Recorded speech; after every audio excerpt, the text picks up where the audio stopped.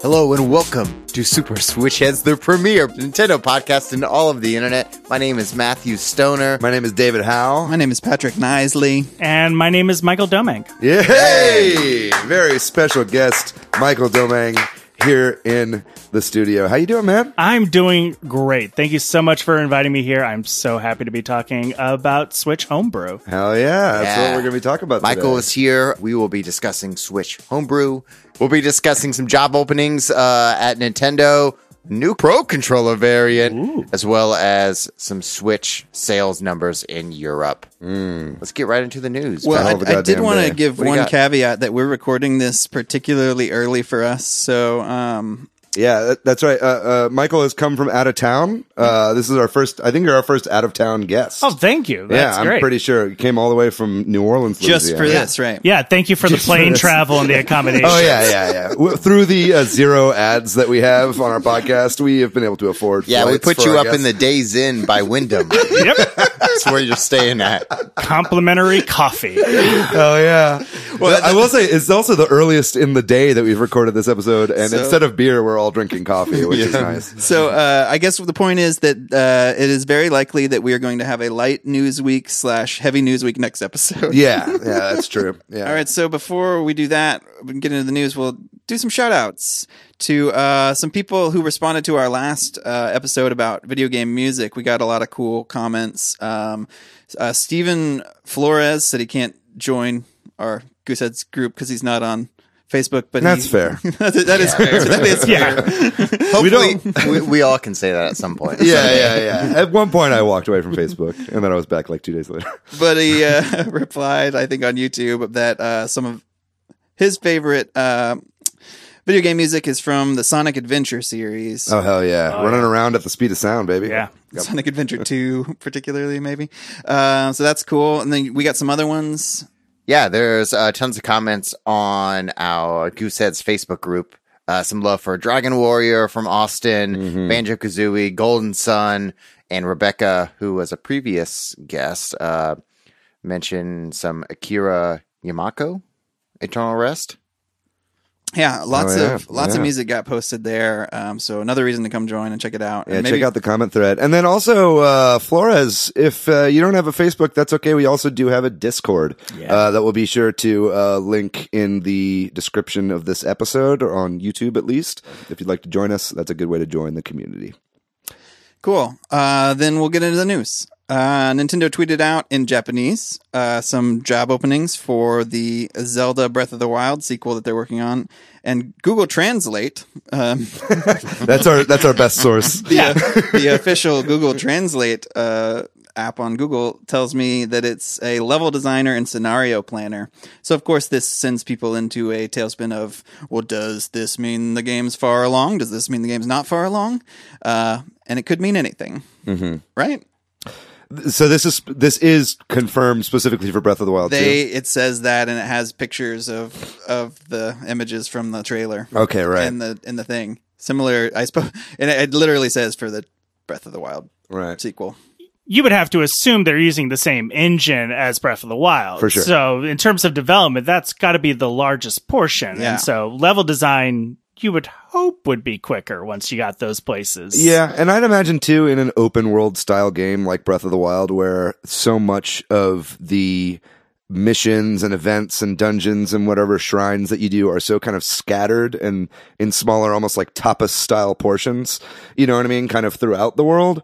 I think that you could be doing level design and, you know, scenario design late into Late. the process at any point in the process, really, whenever Yeah. you need to add something new to pepper into the open world. So I don't think that this necessarily means that they're like figuring out, you know, Sure. the story or levels or something like that. I think this is more like filling out the world. there we there's so many unknowns it's almost not worth speculating but it could also be for dlc you know what i mean like it could be for future stuff that they aren't even maybe they're done with the game.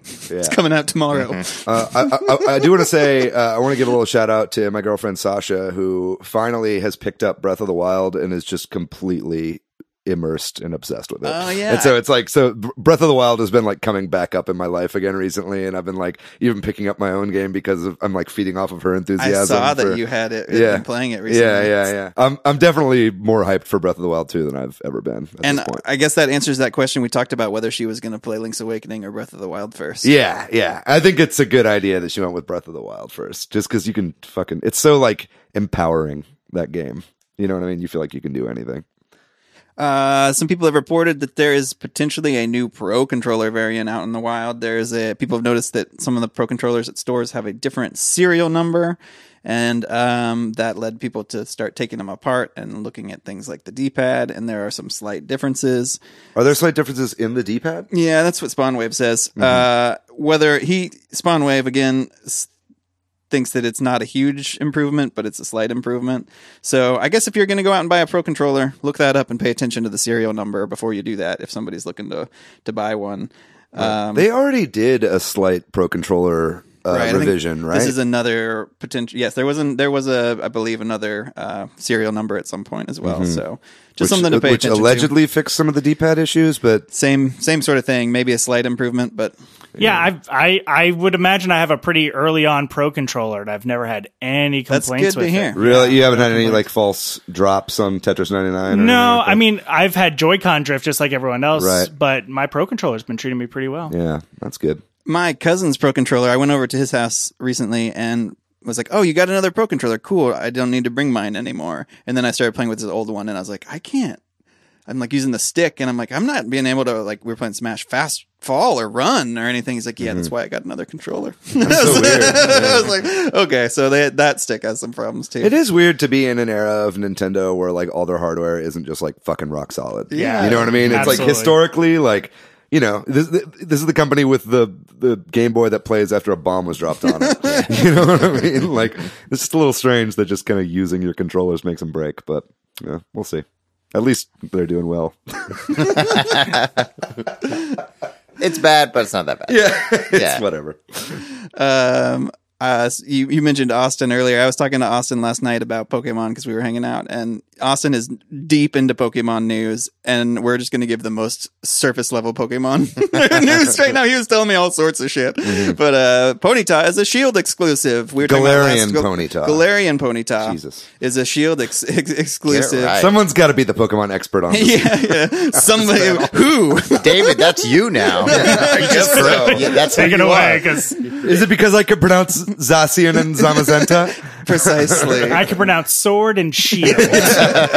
Sword him on and shield him on. so um, there you go. Yeah, so so basically, the My Little Ponyta is the Shield exclusive to Sirfetch'd's Sword exclusive. Right. So there might be more exclusive Pokemon that they haven't announced yet. In fact, I imagine that Yeah. there will be. Right. Um, but uh, but yeah, so it kind of that's already a pretty good indicator on which one you want to get. If one of those two spoke Pokemons kind of speaks to you more, Yeah. then um, then yeah, maybe maybe consider getting one over the other. uh, this was uh, I'm just stealing this from Austin, but his theory was that they're going to let some stuff not be announced because people were upset at the last. I guess was it Sun and Moon that they made everything known in advance, Yeah. and that the way that they've been trickling out such little information and we're still a month out, Yeah. was his theory. So I mean, we've gotten a lot of information That's true. collectively. collectively, there's a lot of information, Yeah, but yeah. Um, there's some some things I guess that are still out there. and we're still not 100% sure which Pokemon aren't making it into the Right, game. that Right. kind of a thing. Yeah. we don't have like a full list of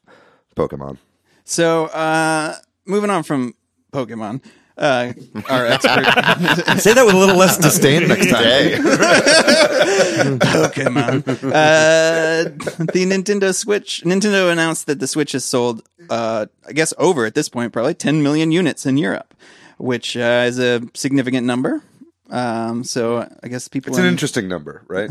Because it's like it's not it's like it's sold almost 10 million in Japan alone. right. You know, and there's So a lot more people in Europe. You'd think it'd be So, higher, maybe. Yeah, I mean, it- it's culturally obviously there's cultural things to take into account there, Right. But um, but yeah, it's you'd think it'd be a little bit higher. I mean, I know it's sold like a shit ton in the in North America, Right. So um, but it's still a huge milestone. 10 million is no small number. I'd be kind of curious to see like breakdowns by country too, because I, I Yeah. hear that France is really into it right now. Yeah. But I'd be curious what other countries are or aren't. You know.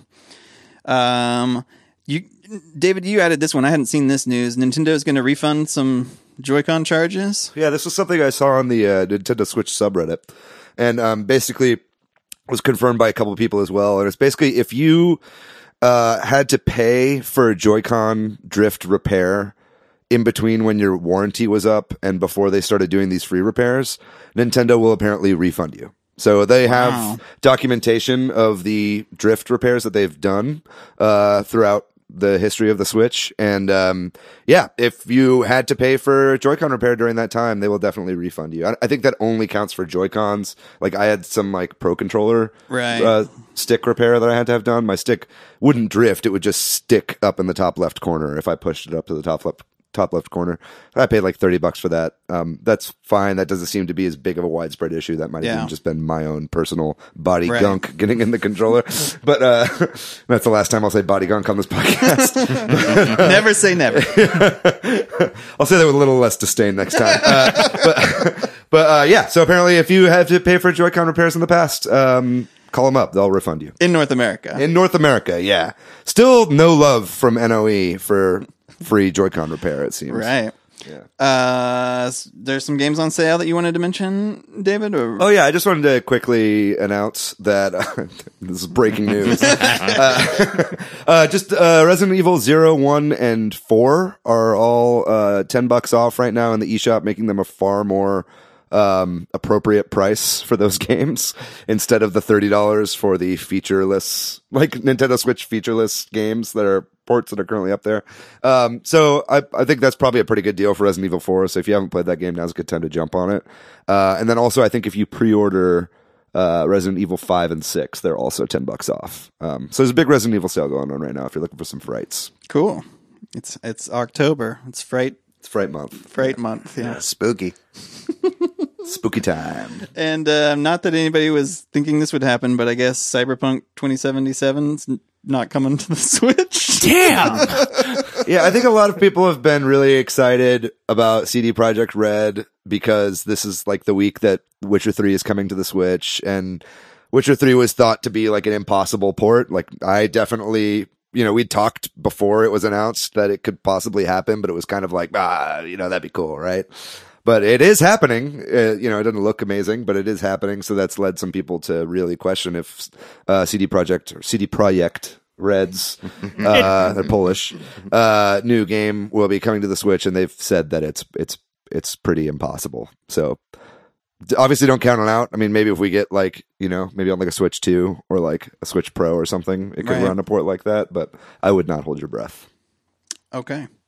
Uh, and then we talked the other week when we were talking about casual games about Brain Age being announced for Japan and wondering if and when it would come west. Well, they announced it for Europe at least. Uh, I don't, at least as of the other day, I, I had not seen any announcement for North America.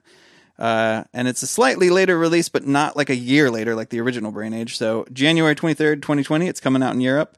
But we don't know if and when it, it's got to come North America. Once I bet they, once they do I bet it'll yeah, be- if you do the localization for Europe. Well, they do use different numbers than we do. Roman numerals. You can count a different number of birds in England than you can uh, in the U.S. And I think they said with the Europe version, it comes with the stylus. Oh yeah, that's right. Yeah, I the physical right. the physical Yeah. edition will come with a, a full stylus. I'm gonna go ahead and make a, a, a guess that it, that won't be the case in North America. Well, that's that was the ca- that was true Oh, for was it? for Mario Maker 2, right? That Yeah, was that's the why European I'm version saying got a it. stylus. Yeah. Oh, jeez. Wow. Yeah. They Um, don't like to give us extras here. Well, if you need a stylus, I bought a box of like 20 styluses on Amazon for like five bucks. If you need a stylus, just come to my house. I'll give you one. Okay. Here's my address. It's no, I'm not gonna do that. Well, awesome. That's all of our news. For like I said, we're recording a little early, so uh, we don't have a ton of big news. Uh, but there you go. Um, so yeah, I guess we're gonna continue taking little breaks. We'll take a short break.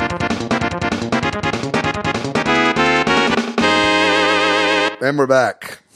All right. So, Michael, we We don't really do breaks. Oh, okay, cool. Yeah. We revealed that last episode. Wow, that we okay. take the breaks. That was a good break. yeah, great break, nice great break. break. I got refreshed and I'm ready to go. Let's do this. Michael, you're here because we wanted to talk about Switch hacking slash homebrew and kind of what that means and what that is.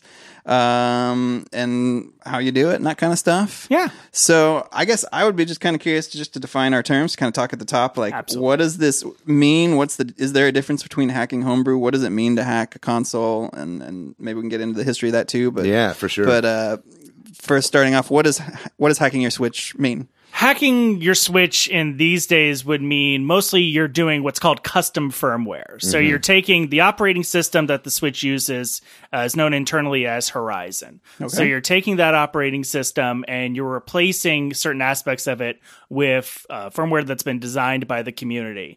Uh, in this case, the primary custom firmware is called Atmosphere. Okay. Um, so you're using that custom firmware, or at least that would be the one I'd recommend. Uh, Because there's a few versions. Right? There's, like a paid OS even that you can. There do. is. There's a paid OS that's used mostly for game backups, and I don't like even using their name necessarily. Sure, Um, yeah. Because they use a lot of the same code that Atmosphere is actually coded on. right, and they're just making you pay for it. Um, exactly. That's pretty scummy. Um, so with custom firmware, there's a lot of things that you can do in addition to homebrew, which would be software designed by the community that runs on the Switch. So that's the difference between those two terms, right? Exactly. Hacking's a more general term than and homebrew is the software that you put on a hacked switch. exactly. Right, right, mm-hmm. right. And so with uh, custom firmware, there's certain things that you can do that uh, Nintendo didn't originally originally design for, such as overclocking your Switch is something you could do. Uh, running cheat programs, sort of like uh, Game Shark back in the day. Oh, but yeah, yeah. You can do sort of those type of uh, codes on your system. You could back up your saves, uh, which was available as homebrew well before Nintendo Online provided that service. it was Game Genie in my day. So. Ah, gotcha, gotcha. yeah, I used, to, I used a Game Shark. Uh, but but yeah, and then you can also install like kind of custom themes and folders and all the stuff that people have been wanting from an OS update. There Correct? is, yeah, there is um, customization that you can do. I would say, you know, and probably we'll get into this later as to what Nintendo will ban you for and what they won't ban you for. I'd Right. say any sort of customization of the system is actually uh, what would trigger a ban or Oh, could okay. possibly trigger That's a ban. interesting. Interesting. Yeah, well, that's something we should definitely get into later in the Yeah. episode. Um, maybe before we get too much deeper into what the Switch is capable of, just like a little history of like Yeah. modifying systems in general. Because Yeah. I mean, it's been around since you know you since the computer days. Right, so I you know, think when people were exactly. playing on a computer, anybody anybody can mod anything because you it's, you have access to your own operating system Well, and then the code of the games directly through your you know unless you're playing on some client terminal or type thing or something like that. But like, uh, or you know. Google Stadia, Joke. but um, but uh, so I guess that's where you know, like there's there's you can install mods on PC and and all that kind of stuff. But yeah, where did that where, where does that fit in with consoles and the history of that? if you think back to the 80s where you had a lot of game consoles that sort of doubled as PCs, think of the Commodore 64 as a great example of like a computer video game console that you could write your own programming for. And homebrews and demos came from that. The Amiga, really popular in Europe, not so much in the US, um, had a lot, uh, had a huge homebrew scene. Um, and then when I started thinking about modern homebrew and modern console hacking, um, you know, with the Nintendo and Super Nintendo, it was mostly just about backing up your cartridges onto a Right. floppy or a CD. like even the like the Famicom disk system in Exactly. in Japan was a, kind of a hotbed for piracy because a lot of people were able to back up their games onto discs um, by kind of like reverse engineering the disk system. I know, like, uh, have you ever watched any modern vintage gamer? I was going to say he's a great guide for all of this and going into the history of those yeah, systems. yeah. I watched. I just watched. I think one of his most recent videos was on a device uh, for the N64. Did you see that one? Yeah, and that was another way to kind of like back up your N64 games to like CD-ROMs. You know what I mean? And like, and and that was a great way to. And I think actually one of those systems was used by Acclaim, like as kind of rudimentary dev kits. I think a when they Turok game was actually partially developed Yeah. using a game backup device. Yeah, yeah. So it's there's no shortage of the history of of modding that you can look up online. What's the Um, name of that person if people want to uh, watch modern vintage gamer. He's an Australian gentleman um, who's a great resource. Um, I know personally, uh, my modifying and kind of hacking uh, began with the Wii for me. Yeah. Um, I, I I had a modified Wii, and I even modified the virtual Wii on my Wii U because it's very very easy to do. If you're thinking about sort of systems that had golden ages of homebrew and had a really large community, I think the Dreamcast was one of the first. Oh hell yeah! uh, because of how quickly sort of its security was defeated. Uh, the PSP had a very massive homebrew scene, Mm-hmm. Oh, yeah. an emulator scene. Um, the Wii was just a, a absolute gold mine because the hack that sort of first broke it open worked on Twilight Princess. Right. And so almost anyone who owned a Wii at that time owned a copy of it. So it was very easy to get into it. Right, and there was also like the Smash Stack Yeah. uh, yeah. hack, which was like using Smash. It was like the two most popular games, Exactly. basically. So, so you're Like- saying you could use an exploit in those games to to get into the OS or something like they that? They would rewrite the name of your horse, uh, Epona. They would rewrite it a certain string that would cause the system to become exploitable. And it was just a saved game hack yeah, uh, for Twilight Princess. And so now with the Switch, um, that we're now in another sort of golden age of homebrews that you have. I believe millions of Nintendo Switches out in the open that have a certain defect or certain hardware bug that Mm-hmm. you don't need it. like a specific game to hack the Switch. You Like- just need a specific serial number of right, Switch. right, one of the OGs. Uh, And uh, real quick before we before we move on from kind of the history, uh, I just wanted to say like when it what. It's always interesting to see when a game, a specific game is needed to crack open a system.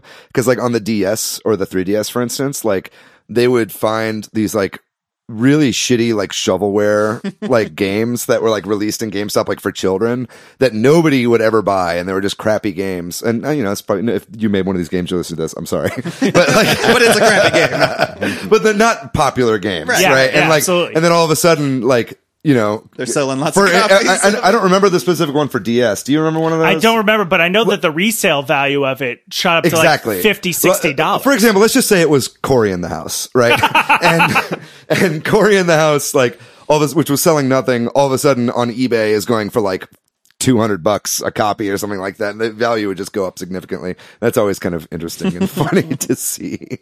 Um, yeah. So, but you started to talk about how switches, how how people got into hacking the Switch. You want to tell us a little bit about yeah. how that first started, or what people's exploits have so been so the- far? The primary exploit, I, f- I forget the name because it's it's slightly French, if I'm not mistaken, Fusée Gelée or something of that sort. Uh, but the actual bug is uh, the GPU of the Nintendo Switch is an NVIDIA GPU, and it's the same GPU that was used on the NVIDIA Shield, which Right. their sort of hybrid tablet platform. The. X1, if I'm not mistaken. Yes, the X1 is, is Right. the GPU on that. And there was um, the documentation for that was widely available. NVIDIA posted it online as part of their sort of open source um, platform. And so people looked into it and found that there was a way to get into the recovery menu of of the switch and it turned out it was the power button the volume up and the home button but it wasn't the physical home button on the Switch. It was a pin inside of the Joy-Con rail Right. that So, if you press down if you do on all that, those at the same time, or something, Exactly. you can reset. you can set your system into what's called RCM mode. Gotcha. Mm. And by doing that, you are able to send fi- a file into the system. And Like through the USB, I, through the. USB C port Yeah. on the bottom.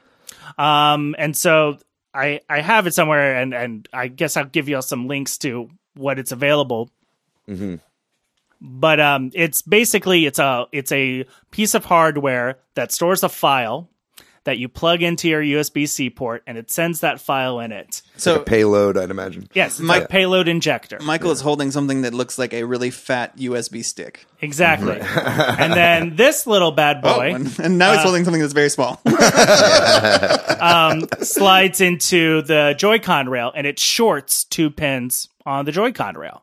And just by using those two things, you now have complete hardware root access to your Nintendo Switch. There's no firmware update that can defeat that access. Right. Yeah. So so that's kind of the main difference because Nintendo, especially in recent years, has really cracked down or has attempted to crack down on hacking and homebrew as much as they possibly can. Like in the early days of the Switch, before kind of this exploit was found, I know there were some other ways that they were kind of like changing up the firmware to stop people from getting in, but then that would kind of get easily defeated really soon. Yeah, Is- anything anytime you get a firmware update that says something about stability improvements, that's Yeah. a big meme in the in the hacking community Right. is like stability intensifies. Right. Um that is almost always to defeat some exploit that has been put out into the open. Right, right, right. Um, so yeah, it seems like they're very much aware of the situation, and that's even why I know like there's this most recent kind of V2 revision of the Switch, but even before that, like midway through the first kind of generation of the Switch, if you want to call it that, there was a hardware um revision that stopped this from happening correct correct? so it's like so there's only a very specific serial number Yeah, there's a can- batch of serial numbers that are exploitable consoles. Uh, all that information is available online. Right. Um, the new switches, the ones that came, I think the red box switches, I think is what they're called. Some of them, if you're on the right firmware version, there may be an exploit released in the future that's not hardware, but it's software that will work. Uh, and you know they're always they're working right now on the Switch Lite and the the new new switches. Man, Um, Switch Lite would be crazy. Yeah. you can figure that out. that that's going to be difficult because Yeah. you don't have that dock support that would probably allow you to send data the, Right. the same way. There's no Joy-Con rail to to, Exactly. to, to connect. So, d- correct me if I'm wrong. What you're saying basically is the the main slash only way to hack your Switch is at this time to have uh, this original version of the Switch. Like you have to to get one of the OG ones. Like if you went out and bought, if somebody was like, I want to go buy a Switch and hack it today, they would have to be real. If yeah, They'd if probably have to buy a used one or or, or find a shop that's had one and an old around for a Walmart somewhere Yeah. in the boondocks that still got some original switches. Do you know if the value of those original models have gone up because of this? I would imagine slightly. I haven't looked at eBay myself. I mean, I have a day one Switch, so I Yeah. knew pretty easily that mine was going to be okay. Right. But um, the community, I don't think, is that large enough to inflate prices. Right. But if it became even easier down the road, then yeah, I could see those those Mm-hmm. systems going up in value. And then, uh, and correct me if I'm wrong here, but as I understand it, the payload that you have to kind of inject into the Switch to the USB C drive, you have to do that every time you want to boot it into this mode, correct? That is incorrect. Okay. That has changed. Um, so now it's more persistent and it's, uh, I keep mine around just in case my system ever crashes. Right. Uh, but it will go into sleep mode, wake up from sleep mode. You can reboot it and all that will stay in as long as the system has not fully crashed and you have to do a full shutdown. Uh, the custom firmware is now persistent. That is awesome. But if you did a voluntary shutdown, that would if I did a full power System off, power off. yeah, then but I a would restart have to. won't do it. A restart will not. That's very interesting. Man, this is making hacking sounds kind of good. So maybe on that, so we've talked about that you can hack and how it works and some of the technology. Maybe we can go into some details about why Yeah. a person might hack. yeah, like what, what you can do. yeah. What Yeah. what's the reason? What are the capabilities? So let me tell you sort of the three things that I primarily do with it. Um, one is there's a piece of homebrew that allows me to turn the Switch into an FTP server. Um, so I don't have to take out my SD card whenever I want to change the files that are on my Switch. So if you're doing homebrew a lot, you're putting files onto that SD card all the time, whether you're doing updates or adding uh, games or stuff like that. You want to have access to that SD card. So you can just download things directly from your computer and transfer them over to the Switch without having to take out your SD card. I'd imagine a lot of these kind of programs are like PC specific, or do they work with Mac as well? Some are some are Mac avail. I mean, FTP is just an old file transfer Sure. protocol, so it's going to work on almost any. It will work on Linux. Um, and so I use that backing up save files. There are some games I know that with Nintendo Online, you they'll put cloud saves, but some games you won't. You can back up your saves in case something happens Like to your Switch. Splatoon or Pokemon. Exactly. And then can you also import saves? Um, I believe that is possible. I, I've not personally done it. You know, I've I I fought for my full Pokedex in Pokemon Let's Go Ah, yeah. Pikachu. uh, so I did not do any sort of hacking to get uh, my 151. Yeah. But did you back it up on? I, I yeah, I backed it up once. Yeah, just to be on the safe side. Yeah, Sure. I Um, remember uh, getting my friend's save on uh, PS1 days from Final Fantasy VII. I didn't want to go get Knights of the Round, Right. So I tran- I used like the memory card transfer but like through PC, and I was just like wanted to see Knights of the Round for on my own Yeah. TV. yeah. So, it would like, be cool to just pull in like 100%, you know, like if you didn't want to like necessarily beat a game, but you wanted to have like all the power ups for a game. Yeah. I mean, I'm sure there was stuff on those are PC there, for yeah. a while where you Yeah, could do yeah. stuff like that. Yeah, yeah. Yeah, so okay, you said so backing up your saves Yep. is one of the big ones. Um, and I would say, in all honesty, emulation is one of the great features of homebrew For these sure. days. Um, what uh, what emulators do you have on your Switch currently? I use RetroArch, Mm-hmm. which is um, a mainstay on PC and on Raspberry Pi and Mm-hmm. other platforms. Uh, it's just a front end for a bunch of different emulator cores. Uh, so I run Nintendo, Super Nintendo, uh, Nintendo 64 works really, really well on Hell the yeah. No slowdown on Nintendo 64? Um, because you have overclocking capabilities, uh, there is not Ooh, slowdown that's on awesome. Nintendo 64 for the most part. I'll Yeah. say some demanding games still have slowdown. Yeah, Sure. maybe if we can break down what RetroArch Yeah. is, uh, like specifically because RetroArch isn't an emulator. Nope. Um, it as you said, it's a front end, and then you can connect it and download the emulators. So it's like a menu, and you choose from that menu what you want, and it downloads the core, which is the emulator itself. Exactly. So there's multiple sort of emulation projects that are out there that have cores that you can download through RetroArch. Mm-hmm. Um, so um, with uh, I think the names, some of them are, are pretty familiar to emulator fans, but like Mupen uh, 64 for Nintendo 64. right. Is this B- SNES 9X for Uh, that's available. Uh, there's some ones that are also available that are uh, more faithful to Mm-hmm. the original hardware and therefore have sort of higher requirements. Um, and those run on the Switch. Mm-hmm. No, well, a lot of these emulators also have like save states and stuff All- like that, or I'm I'm aware of almost all of them having save state functionality, uh, autosave functionalities. Mm-hmm. maybe like Um, the d- speed up functions and stuff like that. Cool. Pretty much anything you'd find on a PC. you'd be able to do. Exactly. Cool. There's the it's a pretty robust software suite. It's not a fan port. The team that works on the PC version maintains the Switch version. Awesome.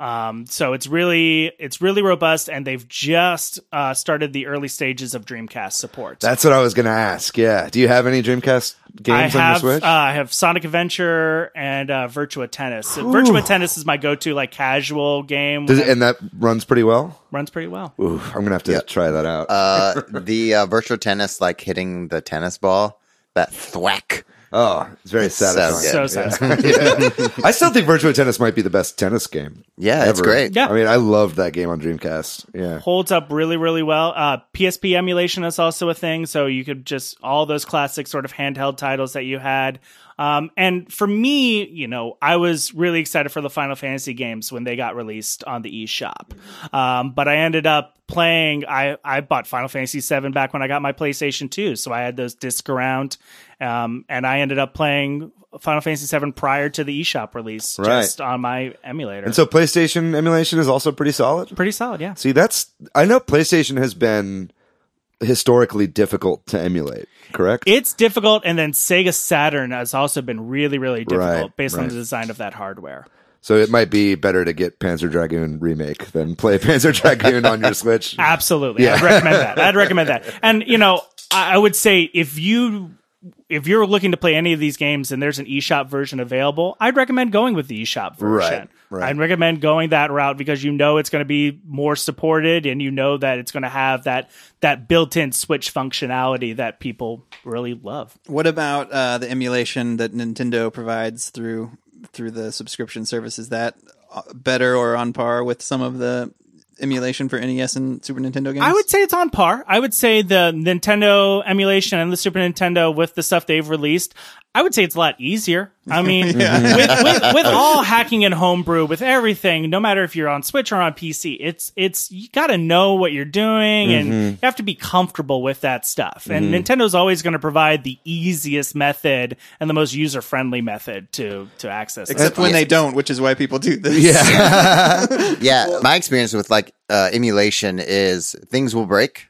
Like when you do homebrew or any kind of hacking, is that things break and things update, and it takes a lot of maintenance to make it work. There's an inherent risk as well. right? Exactly. Yeah, yeah, yeah. Um, but one of the reasons, like for emulation, there are games that I want to play that I can't play, like uh, Super Mario RPG for uh, SNES. Mm-hmm. Like that game's great, and the only way to play it legitimately is to get a Super Nintendo and buy the cartridge. or a or a Super Nintendo Classic.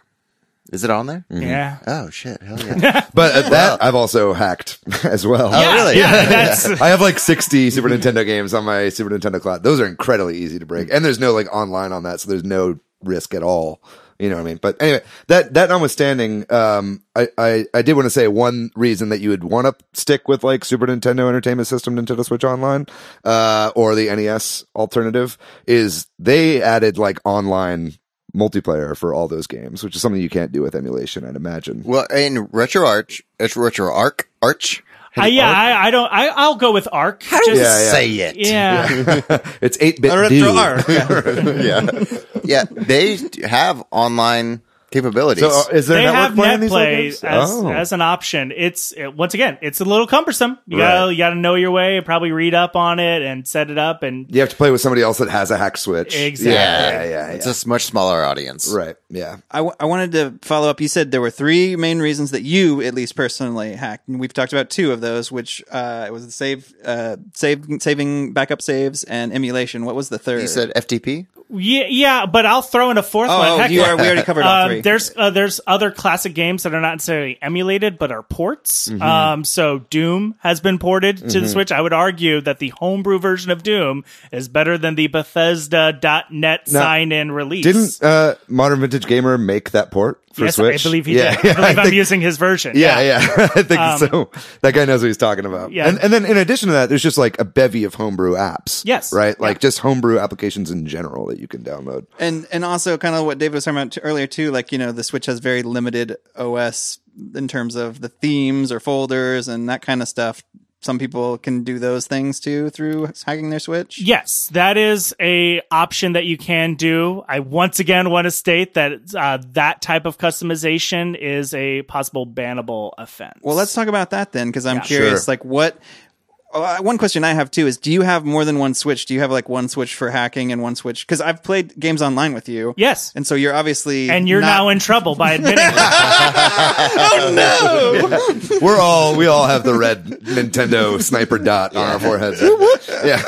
no, no, no, no. Uh, yes, so I have one Switch. I like to live dangerously. No. Um, um, if w- in doing your research on homebrew and hacking, what you will find is a pretty standard list that people agree on as to Nintendo will ban you if you do this. Uh, and, And, Ninten- and what- are those things? um, downloading games online and trying to play them on your hack Switch. So, So those are games you don't own, like games that have been pirated, and and I'd imagine the way that they would know that is like they look for those specific game codes, and then if they recognize that code on It- your system, then that's a strike. Exactly. Right. It's it's all certificate based, and you're downloading certificates, and they're matching certificates, and so Gotcha. uh, they will they have a pretty foolproof method of catching you if at any point you take your system online and you've played something that you do not own. I, I, here's my question then, and this is just a dumb question if somebody doesn't know a lot about this.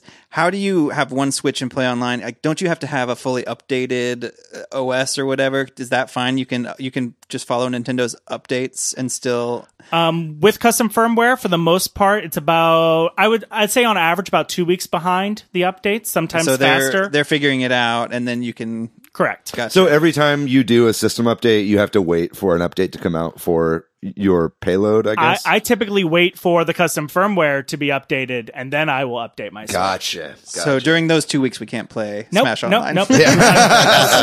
Just out to lunch. Um, yeah, play a single player game. So yeah, playing a game that you don't own will get you banned, and then modifying a game that you own online. So like hacking your Splatoon save to give you extra speed. That's fair. I think that you should be banned for I that. agree. Yeah, yeah. I agree wholeheartedly. That's like you know, anti-cheating measures have been in in Totally. games forever. You know, like Right. but there's like VAC on Steam, right? Yeah, uh, that's like anti-cheat, and so yeah, that is completely fair. I But think. what about modding a single player game uh, when you're not online? Say Breath of the Wild, And- which there are a and- lot of mods for. this is where things get so fascinating because the same tools that will get you banned on Splatoon while doing it online are the same tools you have to use to mod Breath of the Wild in single player. My understanding is you will not be banned in that case. But would- you've not. I've not dabbled for I've that. not dabbled. That's a risk fully. you're not really willing to take. That because I like playing Smash with y'all. Yeah. Um, Thank so- you. um, and so I I don't do that, but I know there is a mod community for Breath of the Wild. And actually, the mod community for that really began uh, with PC emulation of the game and has expanded over to the Switch. and that, that was kind of like the Wii U version of the game that we get modded a- a lot, right? Like the CEMU Exactly. emulator. Yeah, yeah. What other games on the Switch have mod communities? Uh, Um, I, I mod communities. I think it's it's Breath of the Wild and Smash are obviously going to be the two Yeah. largest. Splatoon is like an underground community, and uh, um, the dank depths of the Splatoon 2 modding scene. exactly. I have no problem with cheaters playing with cheaters. You Well, what I mean? Like if they want to see who can create the most devastating bomb or whatever to ink the whole map. Well, I know back in the other. day, I know back in the day there was a lot. I mean, there's been just the if game modifying in general is its own whole separate conversation. Yeah. Like, you know, that that really started with like Super Mario World, right? For the Super Nintendo, like ROM hacks and stuff like Mm-hmm. that for that game. I know uh I used to play a mod of Brawl, um of Super Smash Bros. Brawl called Brawl Minus. Uh, which was uh, itself a modification of Brawl Plus, which was like a balance kind of mod for that game. And it basically took the balance and then made every, so all the characters were even, but then everybody was super powered, right? So it was just like a totally crazy batshit game. I know like the new Super Mario Brothers games have had a lot of mods Yep. as well to make kind of like new games, a lot of Mario Kart mods. Yeah, and I used to like mod my Wii U so I can have like reskins of characters for Smash. Mm-hmm. So like put Dragon Ball Z characters in Smash. Yeah. it's like my dream come true. Yeah. And one of the things I want to test out, I, I mean, I could say as of now I haven't yet, but um, Jedi Outcast that just came out, which was a game that I really loved. Uh, that's a Quake 3 engine game and was really easy to mod back at its PC Right. day. People have been saying that those PC mods should work on the Switch version. Hell yeah. 'Cause I played some of those mods, like the total like dismemberment mods and stuff like that. That shit Oh, was I really love the fun. dismemberment. Yeah, yeah, yeah. So I'm I'm eager to give that a test because that's super single player, and I would imagine doesn't even check in online. I would hope. Uh, but you know, testing out those kinds of mods and yeah, there's a, there's a good community out there. I would say it's something I don't approach because I'm using it. Uh, you know, overclocking and home and emulation are my two go tos. So uh, uh, another reason to mod your Switch and something that I've seen online, I, I wonder if you've had any experience with this, is like loading completely different operating systems onto it. Because I know Yes. you can you can load Android onto the Switch. Yes. I've seen Ubuntu on the Switch, and uh, even I think somebody just loaded Windows onto it for the first time as well. I saw haven't tested recent- Windows, but yeah, I, I, I, I probably wouldn't fucking touch. I have a computer for that, but it's like, but it's like, but I, but I know that you can kind of put like say Android on and play a lot of Android games. Like you can do Steam Link and stuff like that. Like I have played Vice City on my Switch using Android. right. And how, how what's the risk factor there when you're loading Android onto your Switch? Zero. Okay. I, I could say honestly zero because you're not even going onto Nintendo servers. You're not loading any Nintendo software. You are putting the system into, once again, RCM mode, and Mm-hmm. then you're loading Android off of an SD card. Okay, interesting. So those type of alternate operating systems have fun. Just, you know, go to town on. So would you say it's probably a better idea to play emulators through an Android emulation app, or would you just consider using the homebrew menu and RetroArch? What I would say is, I think you can actually get best of both worlds. There's a operating system called Lakka, I believe, L A K K A, um, and that is a sort of Linux-based operating system that runs RetroArch. And that, that's what you run your RetroArch off of? No, I run it through Homebrew, but Okay, this gotcha. is another option. If you have, say, a second SD card that you like to carry around, Mm-hmm. and you can just load up all of your emulators and everything through that, that I would say has faster support than running Mm-hmm. it through the Switch's operating system. Gotcha. So that's interesting. That has me very interested, like the the Android functionality, because there's there's because Android itself is an open source platform, and there's lots of different stuff that you can do with Android that I feel like would totally just change the system into something entirely. Although we all have. I mean, maybe you guys have iPhones, but it's like a lot of, if you have an Android phone, there might not be a huge reason to do that for your Switch, but yeah, just playing with controllers eh, on a game like Vice City instead of touch controls could be really cool. Yeah. Well, I, I thought maybe we could get into some of the moral slash ethical questions related to this issue and just kind of. I'm going to start with like what is probably most of us and most people listening would agree with. You own your Switch. you can do with it what you want. Do you agree with that statement? Like, Nintendo would disagree. Oh, well, then let's talk. Why would they disagree? You know what I mean? Like to, to like setting aside the whole like w- whether it's fair for them to ban you for things, just the fact that I bought this device, I can do whatever I want with it, right? Um, and in a certain terms, or do, or do you think that's too bold of a statement? I don't think that's too bold of a statement at all. I believe I believe kind of what you were getting at is that Nintendo has the right to take me off their online services at any point if I break any sort of uh, Terms any or terms of agreements. Fine with that. If they ban me tomorrow, I'll take my licks. Um, but yeah, I bought the Switch and the hardware. I'm feel fine uh, modifying it any way I see fit.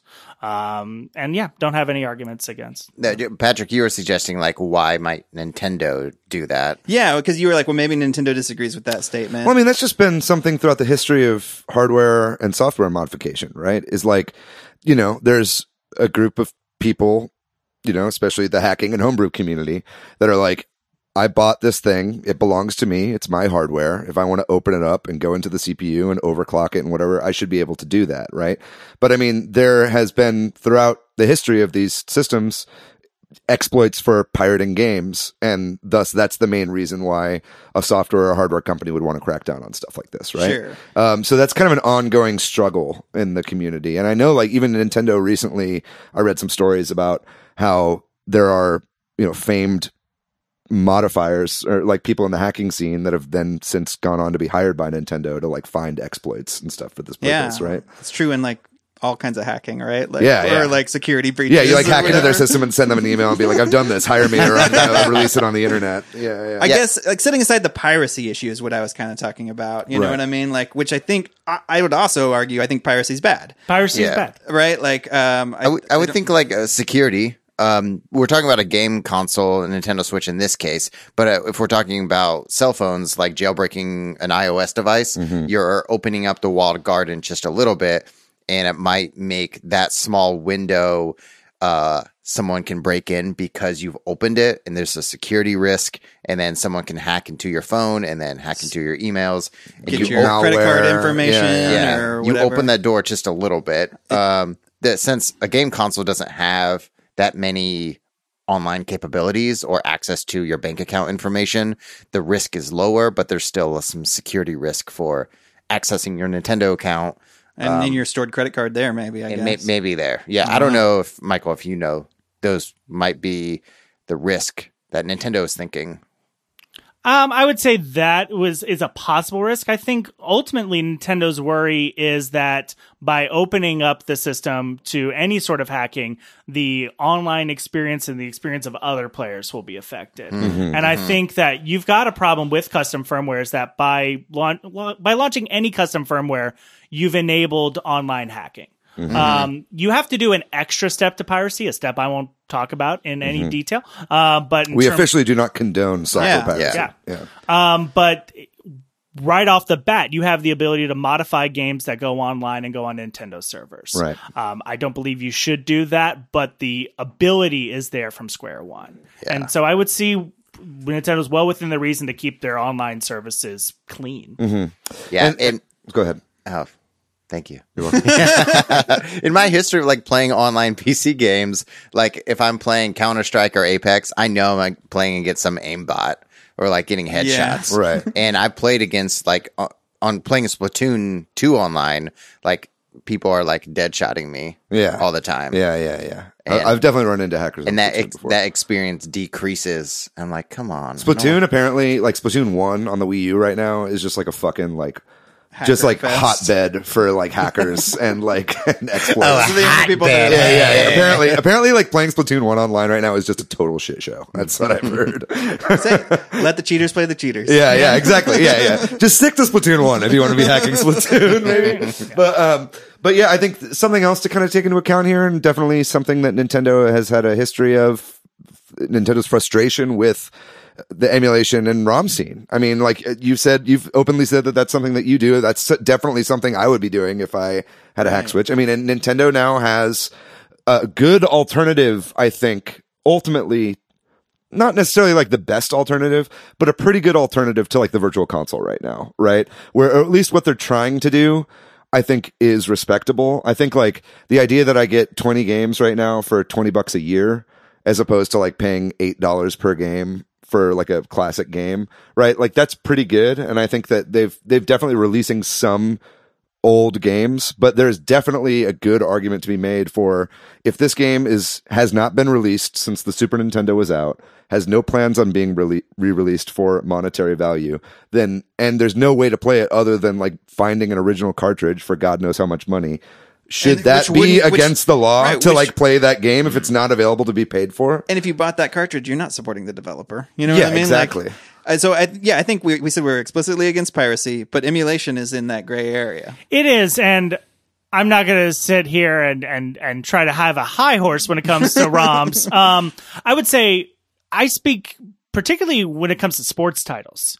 You think about any sort of licensed title where NHL 94 is never going to get re-released. Yeah, or, or like yeah, a movie based or like Bugs Bunny game, or, or like some of the something. old Tony Hawk games, or some of those songs where the music licenses have gone out. You know, like we see all the time. Like what uh Ducktales, the remaster of Ducktales is getting pulled down. Scott Pilgrim versus the World, Scott Pilgrim for is a Xbox 360. It's like Classic example. Yeah. Of just like you that's just can't gone. get that game anymore. Yeah. Yeah, yeah, yeah. Um, and that's a great game that Yeah. should deserve to be played. Into Good, like old school beat 'em up style game. And Yeah. I think the emulation community has done an amazing job of the preservation of old hardware. And there's some, there's a guy out there on uh, Super Nintendo emulation who is just gotten down to the very nitty gritty hardware and has preserved exactly how the Super Nintendo operated. right. And so they're doing a great job of preserving that and games that a corporation has no desire to preserve because there's no ability to make profit. Exactly. And that's that's that's really I think a good way to approach it right? is is the preservation of game history, right? Because eh, as we're getting into an increasingly digital world, you know what I mean? Where like, oh, you know, especially as we're moving towards something like Stadia, you know what I mean? Where you like, re- you know, when you buy a game digitally, like if you get banned from Nintendo, like you just lost access to all the money, all the games that you bought digitally, right? You know? Yeah. And so it's like, so it's like, unless you're buying hard copies of these games, a lot of times, or if they get taken off the eShop, the only way you're ever going to be able to play this again is because somebody like put the time in to like have this digital online museum of, of gaming artifacts. So it's definitely worth, I think, doing it for that reason. And like you were saying, you know, they don't provide if there's no if it's an old game that there's no way to play, then maybe emulation's fine. Similarly, you know, if uh, Nintendo is not providing a way to back up your saves, Yeah. then there's an argument made to like, I want to hack my Switch to back up my saves, right? Like it's the same sort of. I don't think that's a huge ethical or moral dilemma to me to be like if you're not allow- allowing me to back up all this work I've done in Yeah. Pokemon or whatever. Yeah, one of the arguments that I think about is like I have this piece of hardware and I want to play so many games on this one hardware from a, like a minimalism uh, Yeah. perspective. Yeah. Like I have a lot of games, but I don't. Um, I'll buy physical copies, but I don't like keeping them. I don't like keeping stuff in general. So knowing that I can have a digital copy of all of these games and take it with me Mm-hmm. um like it's one my one drive for towards emulation Mm-hmm. um if i can like take the cartridges and put them in storage or do something with them but have it all in one place Mm-hmm. is like the perfect thing for me And, and, and these ethical reasons to support emulation um, aside, Nintendo in the past few years has cracked down hard on ROM sites. Yes. Right. And it's like when we've been hearing stories about this, like I think Emu Paradise was one of them. Yeah. And that was, you know, a site that was a great repository for all these games you can no longer get anymore, was just slammed fucking hard by Nintendo lawyers. And they were sued for like millions and millions of dollars. And it's like, and so this is definitely something that they don't want to happen with all these ethical arguments aside. there are people out there that will take the collections that are on something like emu paradise and like sell them in bundles Yeah. like uh, uh, on ebay or craigslist or etsy you can buy like cd-roms or dvds or full of even like little devices that are made probably That come manufactured preloaded in- with ROMs. yeah, Yeah, yeah. they're like hard drives A lot of like Chinese, like Yeah, knockoff Chinese-made machines, knockoff don't give a shit about And- IP. Soldier Boys. And to be, oh yeah, yeah, Soldier Boy's console. and to be fair, I'm against all of those. I'm Yeah. against any sort of reselling of intellectual property that you don't own. I mean, I, I'm against that. I think this is a hobbyist activity and it should be Yeah. treated as such. Well, and relatedly, then, like you know, you you held up those little devices that you sold, or I mean, sorry, that you bought that people that I make in my factory. yeah, yes. sorry, that you purchased, uh, but you At also Foxconn. and obviously you s- purchased that from somebody. Uh, but we also you also kind of mentioned that some people are selling, you know, uh, that alternate OS. And so I'm kind of curious about why is one of those things acceptable and one of them not? You know what I mean? Um, not that they're the same thing. Do you, do you understand what I'm saying? Yeah, It's no, I get what you're saying. There are people Uh, making money off of this switch hacking, arguably. I would Um, say the the device that I purchased it really just makes what I'm doing easier, and it has it comes with no software, or it comes with software to upload the file, but it in fact has no ability to defeat the security on its own. It requires the work of the online community. That's why like an R4 card is legal, but an R4 card card filled with ROMs is illegal. And I, it- I mean, even to that point, the R4 has the software sort of on it to hack into it. Right. This is just I literally you're just a file server that you plug in. Right. Gotcha. Um, and then with when it comes to selling an operating system, I think if you're selling uh, software that you did not develop, Right. uh, that's where I sort of say like if you're using the community's work and then adding a nice skin on it and selling it for thirty bucks, that's where I say that's Yeah. sort of That's pretty ethically scummy. dubious. Yeah, yeah, yeah. I would agree. I just wanted to kind of get into that because it's an interesting to, d- dynamic. I think. Um, yeah, go ahead. Yeah, can I ask a question? Um, because I've always thought, and we kind of already have talked about this a little bit, but I've always said that like I'd kind of like to get maybe one of the newer Switch revisions, like the V2 Switch, the one that's out with the better battery life, Yeah. and then keep my OG Switch that I have right now specifically for hacking, emulation, overclocking, maybe game modification, something like that. Now, uh, c- mainly that came from my paranoia that if I hacked the one console that I own, that I would get banned and I would lose access because I have I've gone all digital on my Switch. Like I don't buy any physical games, you know. So it's like so I'm very paranoid about like losing access to God knows how much money I've put into the eShop.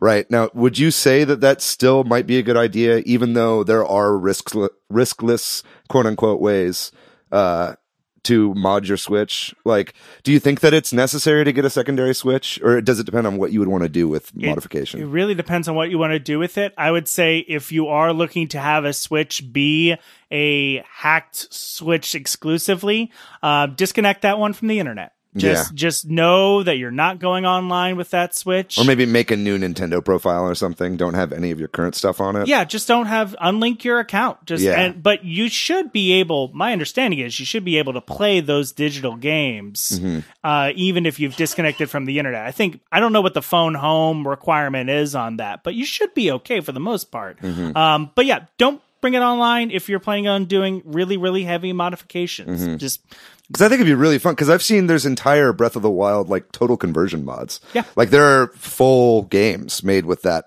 You know, basically a sequel to Breath of the Wild that was made by the community with all new dungeons and all different kinds of stuff. Like that sounds like so much fucking fun to play. Yeah, and like you know? skins for Link. Yeah, Yeah, cr- I'd want to play as Bowsette in Breath of the Wild. I'm just gonna say it. it's the dream.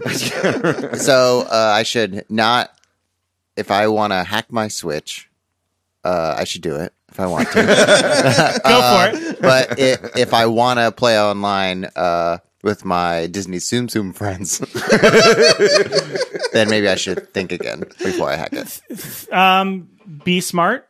Mm-hmm. Go online, do your research. Like I said, there's a list of bannable offenses that you can find, and don't do those things. Cool. Um, keep it to the simple homebrew that is out there, and don't try to get too fancy. Uh, w- one last question about that when it comes to risk.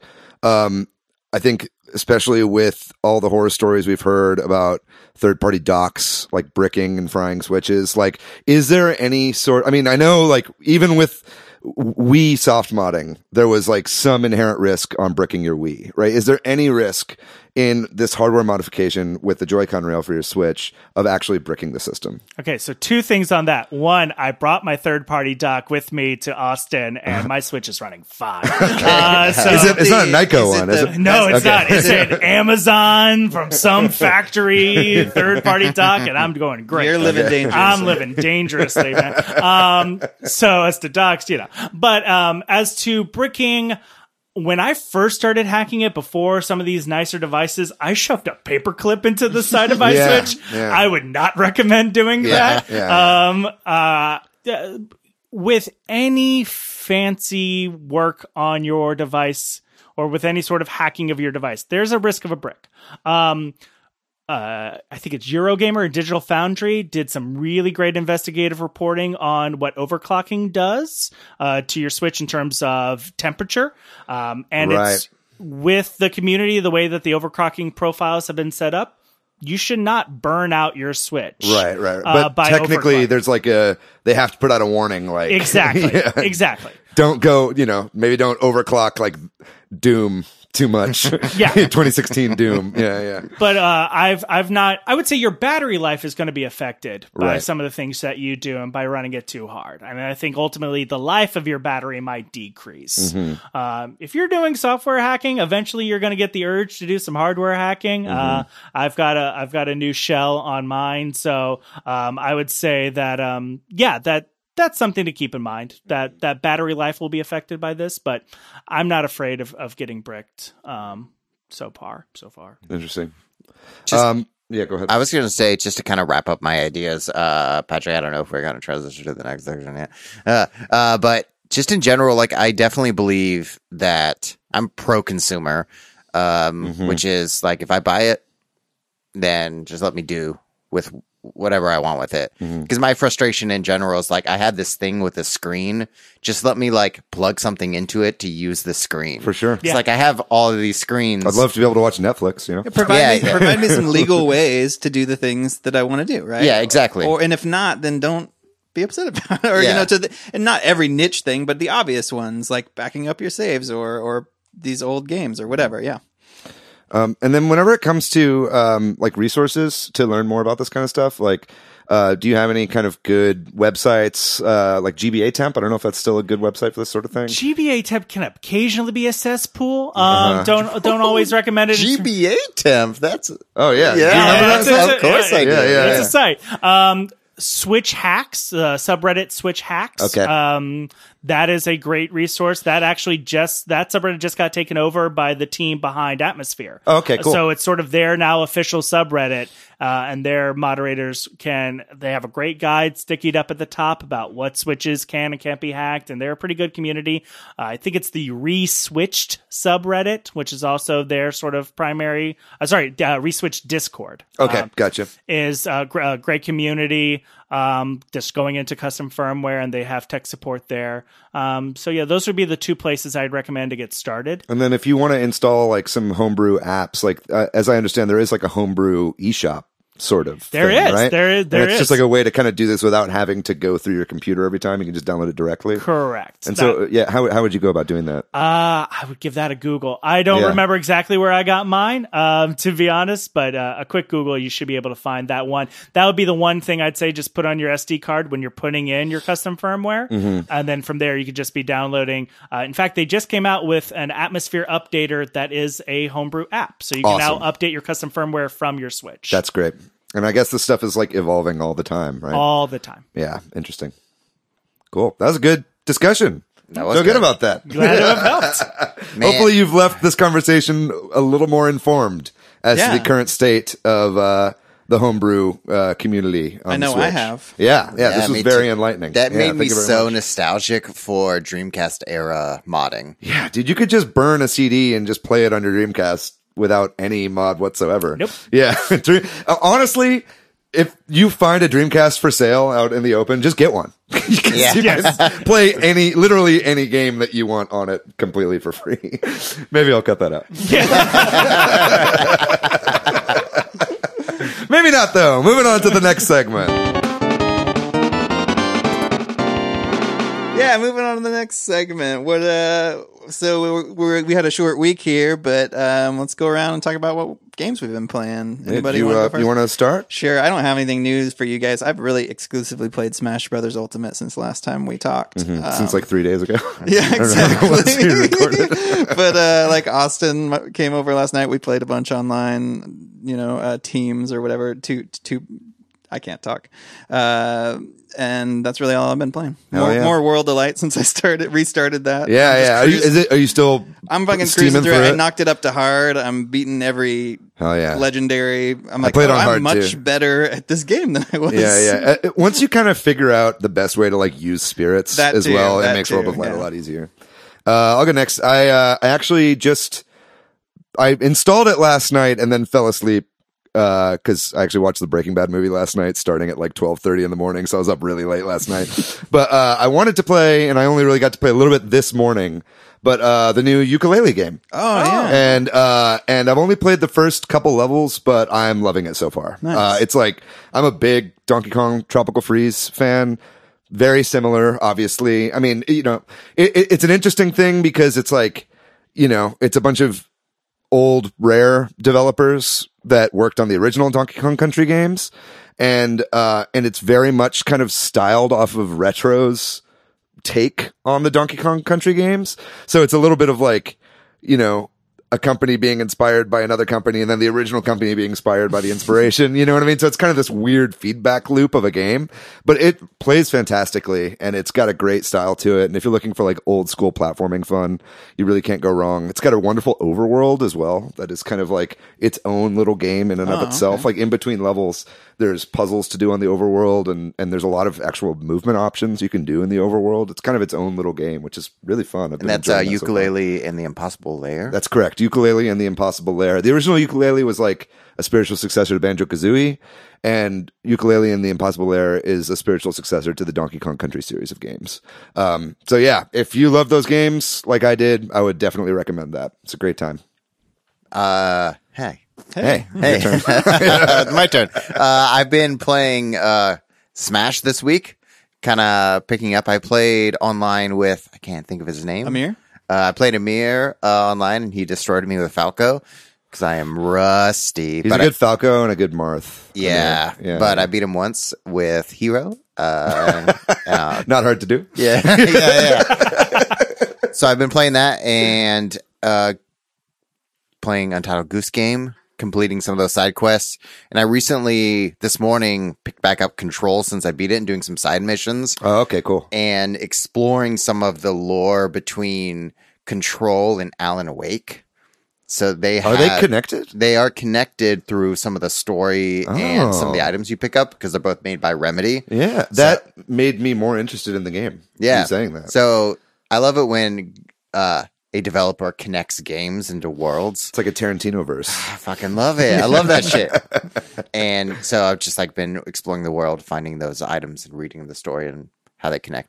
It's been- Yeah, it's that's fun. great. Yeah. That's great. Uh, hopefully next week also we'll have a chance to talk about Killer Queen Black. Ah, I can't wait. That just came out like before we started recording this, so I'm very excited to play that game. Me too. Yeah. What about you, Michael? Um, on my PC, I've been playing a lot of Gears Five. Oh, Okay. yeah. Loving Xbox Game Pass uh, Ultimate on my Yeah, PC. okay. What a fucking deal. It's amazing. Uh, and Gears 5 being in essence free and just having a great time playing that. And then on my Switch, I've been playing a lot of Untitled Goose Game recently, uh, based on recommendations from y'all.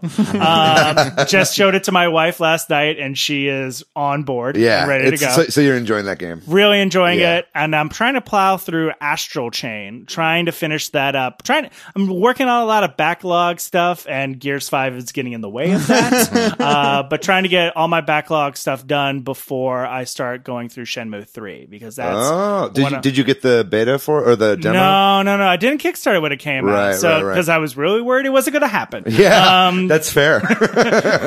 so uh, playing through one and two to get ready for three. cool. Michael, have you ever seen the Mega 64 Shenmue video? no, Uh, they do like jackass style pranks. That's so Um, funny. But they like approach people and they're like, "Would you like to play a game of Lucky Hit?" do you know? Do you know anyone who who knows some sailors? I'm looking for the man who killed my father. I'm going to Japan uh, over New Year's for the first time, and if I find a sailor, I'm just going to lose my shit. Drive some pitchforks around. Yeah, yeah. Or wait, what are those called? Forklifts. Forklifts. if I can find a put, pitch, a, put, put some wheels on a pitchfork. I and got a you. go. I got you. Uh, and then, uh, uh, can you play the first two Shenmue games on the on the Switch hacking? Do you know if those run on the Dreamcast emulator? I have not personally tested Shenmue 1 Yeah. because I know PC emulation saw some issues with Shenmue. right. right. Um, so but, probably be a ways off. but Xbox Game Pass has it for Xbox and PC. The So- first two? Yeah, first Ooh, two. that's on, nice. on Game Pass. And then I, I couldn't help but uh, notice on your Switch you've got a recently played game as Star Wars Pinball.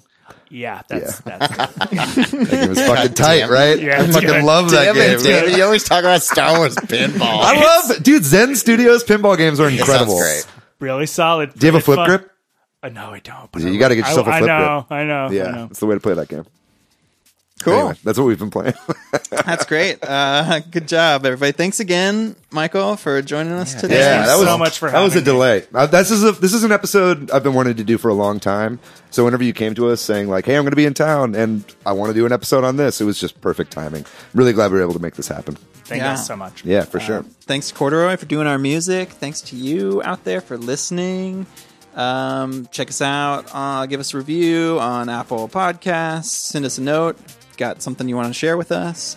And if you want to find us individually online, I am PDYX most places. You can find me on Twitter, Matthew M A T H Y O U. On the internet, I am at Monolith Fiji. What about you, Michael? Uh, you can catch me at at m domang, Very good. And if you're in New Orleans, check out the uh, what's your theater called again? the Broad Theater. That's right. Yeah, you got some. You're the director of uh, event programming. Is that correct? I lead up special events, marketing, yeah. IT. I sweep up floors. I do some things. oh yeah, hell yeah! I hear it's a really nice space. I can't wait to come visit it sometime. Yeah. Absolutely. Uh, thank you everybody so much for listening to the episode.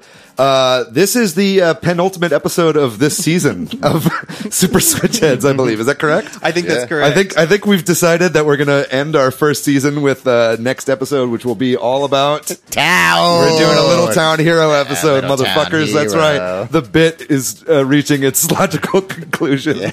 Uh, so be sure you tune in for a very special episode next week where we do a deep dive on the most anticipated game of the entire year, Little Town Hero by Game Freak.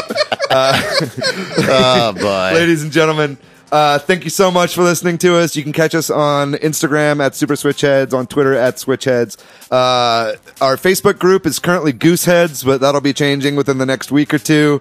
Uh, and then if you don't have Facebook, again, just a reminder, you can join our Discord. There's conversations happening there all the time. The bigger that community gets, the more robust it gets. That's the stupidest thing I've ever said. The larger it uh, gets, the larger it gets. Ladies and gentlemen, thank you so much for listening to the show. We love you very much. We'll see you next week. Bye bye.